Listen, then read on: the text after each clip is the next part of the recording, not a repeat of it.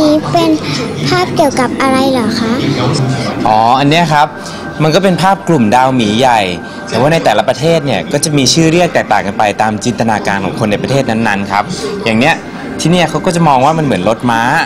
แต่บางที่เขาก็จะมองว่ามันเหมือนกระบวยมากกว่า แล้วกลุ่มดาวบนท้องฟ้ามีกี่กลุ่มคะ ดาวฤกษ์ที่อยู่ใกล้ ๆ กัน เคลื่อนที่ไปพร้อม ๆ กัน เรียกว่ากลุ่มดาว